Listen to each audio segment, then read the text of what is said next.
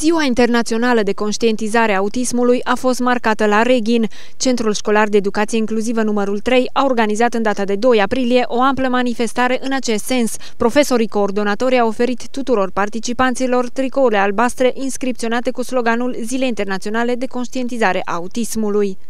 Pe 2 aprilie se știe că Ziua Internațională a Conștientizării Autismului Eh, și noi vrem să o marcăm printr-o activitate făcută de colegii noștri Crețe Adrian și Recheșan Codruța.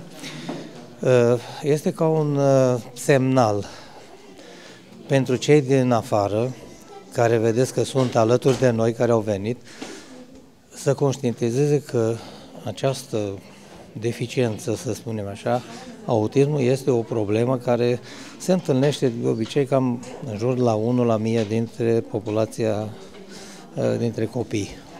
Ziua de 2 aprilie este considerată Ziua Internațională a Conștientizării Autismului.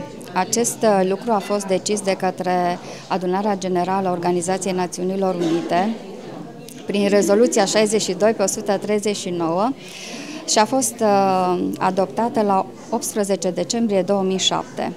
Inițiativa aceasta au avut reprezentanții statului Qatar, dar a fost uh, susținută și aprobată de către toate celelalte state. Uh, culoarea simbolică a acestei zile este albastru și de-a lungul anilor toate clădirile importante din Europa și din lume au fost iluminate în albastru. Programul activității a inclus vizionarea unui film documentar, prezentarea unui film tematic, dar și o demonstrație de arte marțiale a copiilor autiști. De asemenea, a avut loc și un joc structural și totul s-a încheiat cu o petrecere. Toate activitățile care am încercat să le desfășurăm acum au pus în valoare uh, munca pe care o facem cu aceștia, terapia care se practică cu aceștia pentru recuperarea lor pentru ca să poată și ei să uh, se integreze în societate, să socializeze cu ceilalți, să nu rămână doar în mediul lor, fără ca să poată comunica cu cei din jur. Uh, sperăm ca pe viitor, în anul viitor, o să, o să facem o activitate și mai, uh, mai laborioasă și dorim să facem ori la nivelul oraș, ori la nivelul județului, ca să fie mai mulți invitați.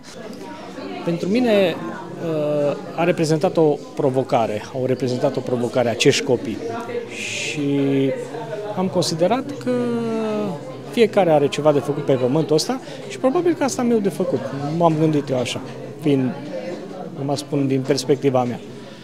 Și cred că am reușit, probabil uh, într-o mică parte, să fac anumite lucruri cu acest copii Munca nu este ușoară, dar este fascinantă. Deci ei sunt fascinanți și atunci ne provoacă mereu, ne lansează noi provocări și noi cu drag încercăm să le facem față zi de zi.